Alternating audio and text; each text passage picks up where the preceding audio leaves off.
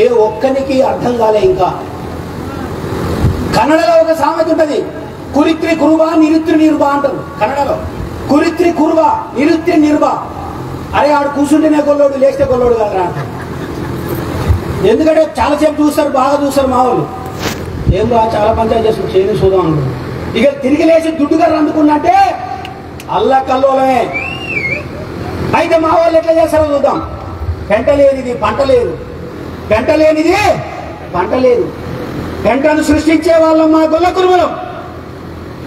ఎరువు చేస్తున్నాం పంటకి వేస్తున్నాం. దాని నుంచి పంట వస్తే పంట.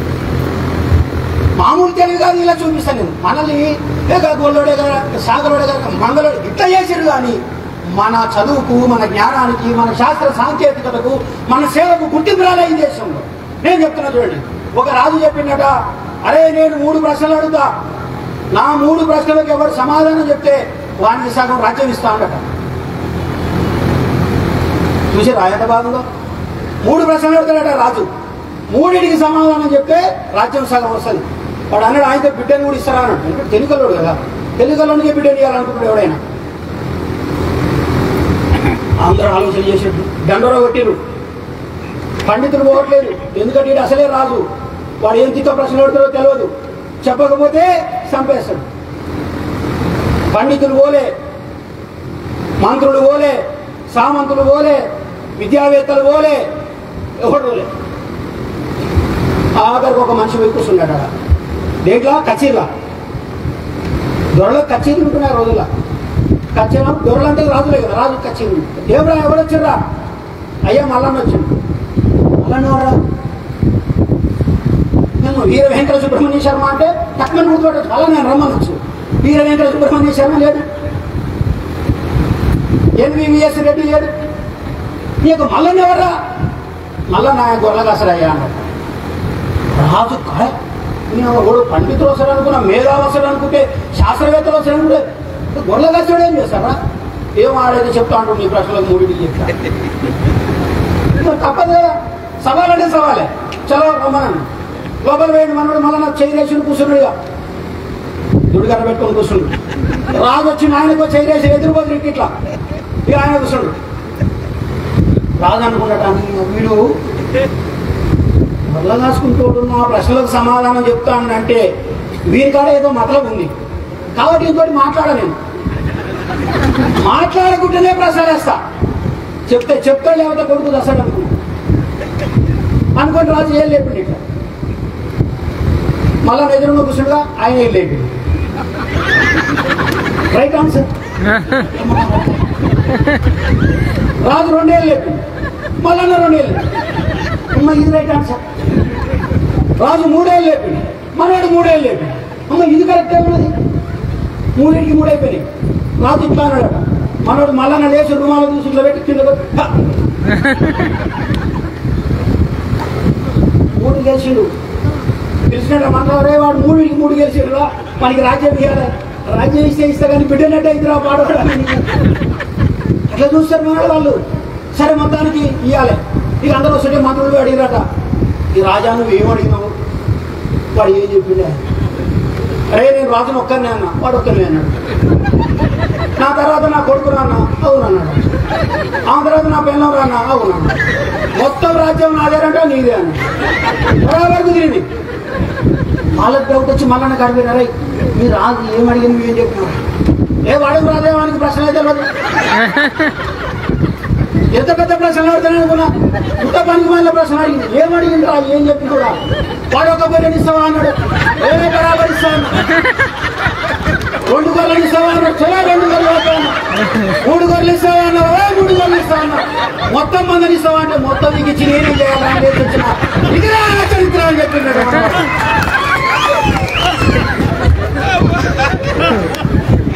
కాబట్టి జ్ఞానానికి ఎవరు పునాదులం? ఎవరు ఈ సమాజానికి ఎరువులమైన ఎవరు ఈ సమాజానికి జ్ఞానాన్ని ఇచ్చినావు? ఈ దేశంలో పాము గరిస్తే మందవలం పెట్టినాం తేలు కలిస్తే మందవలం పెట్టినాం ఆపద ఎవరికి చేసినావు? కాలు నీతే ఎవరు కట్టుకట్టినావు? అసలు పోసింది ఎవరు? ఆకులెచ్చింది ఎవడు వృత్తింది ఎవడు పెట్టింది ఎవడు నిన్ను బాగు చేసింది ఎవడు ఈ దేశంలో ఉన్న గొలకుర్మలు కాదా అని నేను అడుగుతాను. కానీ ఈ దేశంలో గొల్లకురుమల సంఖ్య ఈ రాష్ట్రంలో మన తెలంగాణ ప్రభుత్వం చెప్పిన లెక్క ప్రకారం పద్దెనిమిది లక్షల కుటుంబాలు ఉన్నాయి. కానీ పద్దెనిమిది లక్షల కుటుంబాలకు ఎమ్మెల్యేలు ఎంతమంది వచ్చిర్రు అని అడుగుతా అంటే బీసీలకు అన్యాయం జరుగుతుంది బరాబర్గా. మీరు అడగచ్చు అన్న మరి ఎస్సీల గురించి మాట్లాడవా అని. ఎస్సీల గురించి కూడా బరాబర్ మాట్లాడదాం. కానీ ఎస్సీల గురించి రెండు సీట్లు ఉన్నాయి. కరీంనగర్ వస్తే రెండు సీట్లు ఉన్నాయి. ధర్మపురి ఇంకోటి మానకొండూరు. ఆ, మూడా? చెప్పదండి. మూడు. నువ్వు వద్దన్నా కాదన్నా అవునన్నా ఎవరు వద్దన్నా నాలుగా మూడే ఎవరు వద్దన్నా కాదన్నా చెన్నూరు హైదరాబాద్ పోతుంది కదా నాకు తెలుసా ఆయనతో మొత్తం కూర్చొని లేదు ముగ్గురు ఖచ్చితంగా ఏసీలో ఉంటారు అక్కడ. ఎవరో ఒకరు గుడ్డోడో గున్నోడో ఎవడైతే ఒకడైతే ఉంటాడు. అరే ఉన్నారా? ఏ ఆదరవు అంటాడు. అవునా? ఈ దేశంలో ఈ రాష్ట్రంలో ఎస్సీ ఎస్టీ బీసీలు అందరూ మనం లెక్క పెడుతున్నాం కానీ బీసీల గురించి మాట్లాడడంగా సాగలి మంగలి కొమ్మరి కుమ్మరి గొల్ల యాదవ్ కుర్మ ముద్రాసు పద్మశాలి సవర ఈ కులాల వాళ్ళు యాభై రెండు శాతం ఉంటే ఎమ్మెల్యేల సంఖ్య కనీసం మా వాడితో ముందు చెప్పినట్టు పది శాతం కూడా లేదు. మరి ఈ జాతుల సమస్యలు ఎట్టు తీరాలి? ఈ జాతుల రిప్రజెంటేషన్ ఎట్ట రావాలి? ఈ జాతులకు విచ్చేట రావాలి? ఈ జాతులకు అభివృద్ధి జరగాలి? ఇంకా అదే మంగళ పనిలో అదే కుమ్మరి పనిలో ఇంకా అదే వ్యవస్థలో మేము ఉండాలనా అని ఈ సందర్భంగా మనం పునర్పరిశీలన చేసుకోవడానికే మన తాత ఈ శూద్ర సమాజం కోసం తన జీవితాన్ని తన భార్యను తన కుటుంబాన్ని తన ఆస్తులను తనకున్న సంస్కారి ధారపోసిన మహాత్మా జ్యోతిరావు పూలే గారి సందర్భంగా ఈ కార్యక్రమాన్ని ఇక్కడ నిర్వహించుకుంటున్నాం సోదరులారా.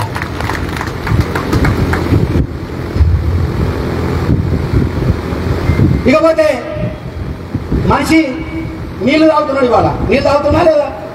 ఎట్లా తాగుతున్నాం ఇంతకుముందు ఎవరో తెచ్చిచ్చారు నాకు ఇగో ఈ బాటిల్ తెచ్చిచ్చారు. బాటిల్లో నీళ్ళు ఆయన. బాటిల్ అంటే గుర్తొస్తుంది. ఈ దేశంలో బాబులు చాలా దుర్మార్గాలు సృష్టించడం అది మనకు అర్థం కానిస్తలేదు.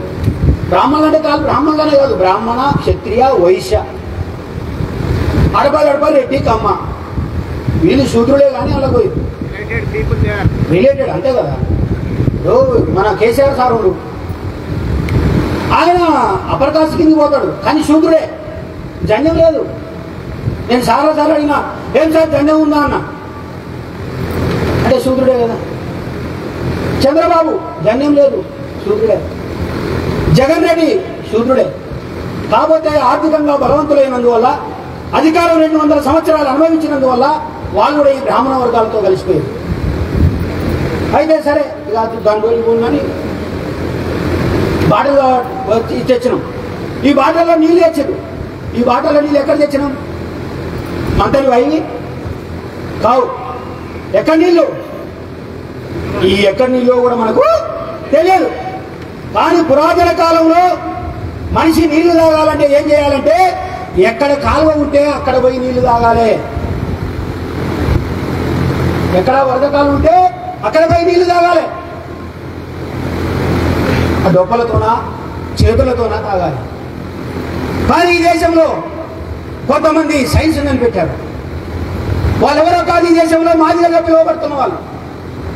ఏం చేశారు వాళ్ళంటే ఒక తోలును తీసుకొని పశువు చనిపోతే తోలును తీసుకొని దాన్ని ఎండబెట్టి దానికి పసుపు రాసి ఇంకా ఉప్పు రాసి ఆ, చెక్క రాసి దాన్ని మొత్తం విడిపోయిన తర్వాత ఒక తోలు తిత్తిలాగా చేసి ఆ దానికి ఒక తాడు కట్టి రెండు బస్సులోకి లాగితే దాన్ని ఏమంటారంటే తొండం అంటారు.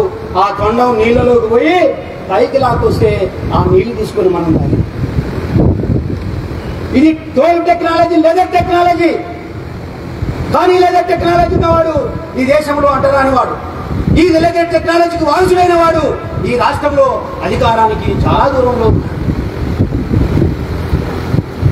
కాబట్టి ఈ దేశంలో అంబేద్కర్ అవసరం ఉన్నది. కాబట్టి ఈ దేశంలో పూలే అవసరం ఉన్నది. పూలే పెట్టిన సత్యశోధకు సమాజం అవసరం ఉన్నది.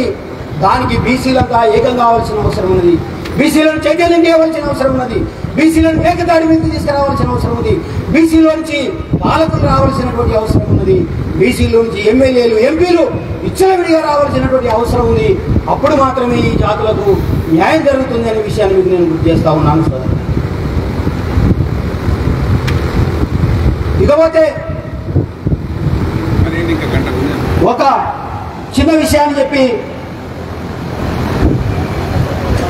నేను మళ్ళా కొనసాగిస్తాను. చూడండి ఈ దేశంలో ఇన్ని సేవలు చేసిన వాళ్ళం ఉదాహరణకు ఒక కుమ్మరి కులం గురించి. మట్టిని ముద్ద చేసిండు. ముద్ద తీసి చక్రం మీద వేసిండు. అంటే భారతదేశంలో ప్రపంచంలో చక్రాన్ని కనిపెట్టినటువంటి వాడు కుమ్మరి. ఈ కుమ్మరి కులంలో అయితే ఎమ్మెల్యే లేడు ఎంపీ లేడు మంత్రి కూడా లేడు అసలు వాళ్ళు ఎక్కడ ఉంటారో కూడా ఎవరికి అర్థం కాదు. దీని ఐడెంటిటీ కావాలని అడుగుతున్నా నేను. ఎందుకు అడగకూడదు? ఈ తెలంగాణలో లేదా? ఈ భారతదేశంలో లేదా? అయితే ఆ చక్రం కనిపెడితే ఇవాళ ఆ చక్రం ఏమైంది? సైకిల్ అయింది. ఆ చక్రం ఏమైంది? స్కూటర్ అయింది చక్రం ఏమైంది కార్ అయింది చక్రం ఏమైంది రైలు అయింది చక్రం ఏమైంది విమానం అయింది ఇంత పెద్ద సైన్స్ అండ్ టెక్నాలజీకి పునాదులు వేసిన ఈ ఉత్పత్తి కులాలైన సూదరాల గురించి ఈ బ్రాహ్మణీయ మనవాదులు ఏమన్నారో ఒక్క శ్లోకం చెప్పి నేను ఆ తర్వాత ముందుకెళ్తాను వాళ్ళు చెప్తున్నారు భూతానాం ప్రాణిన శ్రేష్టాహ ప్రాణీనాం బుద్ధిజీవన బుద్ధిమత్సు నరా శ్రేష్టా నరేషు బ్రాహ్మణా స్మృత నన్ను అడిగింది ఏమ్రా బాబు? మీకు నాలుగలు తిరగబట్ట కదా ఏసీబీ సూదరులకు అన్నాడు నేనన్నా వంద శ్లోకాలు నోరు తిప్పకూడదు అవుతా నీ దమ్ముడు నేను వచ్చి కూర్చుంటాను అని చెప్పిన. వంద శ్లోకాలు లెక్క పెడదాం. బుక్క తిప్ప కూడా పడాలి. అద్భుతమైనటువంటి జ్ఞానం ఉన్న వాళ్ళం మేము కాకపోతే మాకు చదువు నేర్పలేదు. మమ్మల్ని వివిధ వృత్తుల పాలు చేసిర్రు. మాకు జ్ఞానం అందకుండా చేసి మమ్మల్ని గొల్లా సాగలి మంగలి కుర్మా కొల్లా మాలమార్గం చేసిరు తప్ప చదువు రాగలాదు మేము ఈ సమాజం ముందు నిలబడలే కదా. చూడండి ఏం చెప్తున్నాడు? భూతానాం ప్రాణిన. ఈ భూమి మీద చాలా భూతాలు ఉన్నాయి. భూతాలు అంటే చెట్టు చెరువు ఇవన్నీ. గుట్ట రాళ్ళు రప్ప నీళ్ళు చేపలు ఇవన్నీ. వీటన్నిటిలోకెల్లా ప్రాణం ఉన్నవి గొప్పయట ఒకటి మంచిదే చెప్తారు ఎక్కడో ఒక దగ్గర. తర్వాత చెప్తున్నాను చూసుకో. శ్రేష్టాహ ప్రాణినానాం బుద్ధి జీవన. ఈ ప్రాణాలన్నింటిలో బుద్ధున్నోడు గొప్పోడు.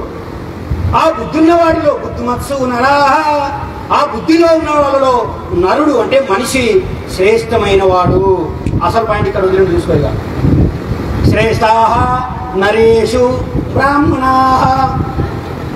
ఈ మనుషులందరిలో కల్లా శ్రేష్టమైన వాడే బ్రాహ్మణుడు అన్నారు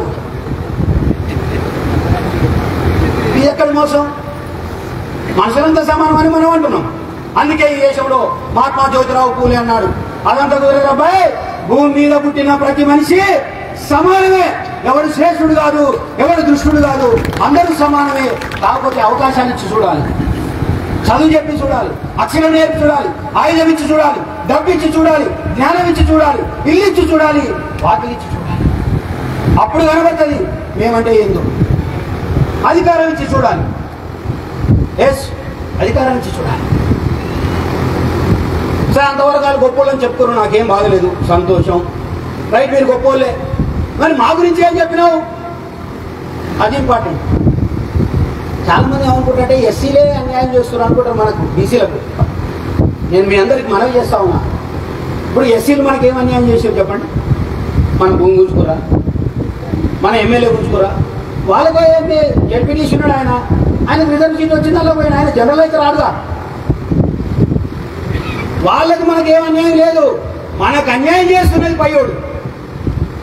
పయోని మీదనే ఓ అయ్యా బాంచని అంటున్నాం. కిందోని మీద భయం పెత్తనం చెలాయిస్తున్నాం మనం. అసలు కాదా ఇది. ఇప్పుడు అదే ఓట్లు నెట్ వేయించుకుంటున్నాడు ఎస్సీలో ఓట్లు నెట్లకి వేస్తే వీళ్ళు గెలిచి ఎమ్మెల్యే అవుతుంది నేనేమంటున్నా ఈ బీసీలకు సీట్లు పోతున్నాయి. బీసీల సీట్లు ఓసీలు ఎత్తుకోబోతున్నారు ఎఫ్సీలు. బీసీల సీట్లు అగ్ర కులాలన్న వాళ్ళే వాళ్ళు ఆధిపత్య కులాల వాళ్ళు తీసుకోబోతున్నారు కాబట్టి ఈ బీసీ కులాల సీట్లు మనం తీసుకోవాలంటే బీసీలు మొట్టమొదట ఎస్సీలతో మచ్చిక చేయవలసినటువంటి అవసరం ఉన్నది. ఎట్లాగో జనరల్ వాళ్ళు రారు కదా ఆ జనరల్ వచ్చే సీట్లే ఆ ఓట్లే మీకు పెడితే ఇక్కడ బీసీలు ఎమ్మెల్యే అవుతారు. బీసీలు యాభై మంది ఎమ్మెల్యేలు అయితే ముఖ్యమంత్రి వాళ్ళే అవుతారు. ఎస్సీలు ఎంత పట్టుకున్నా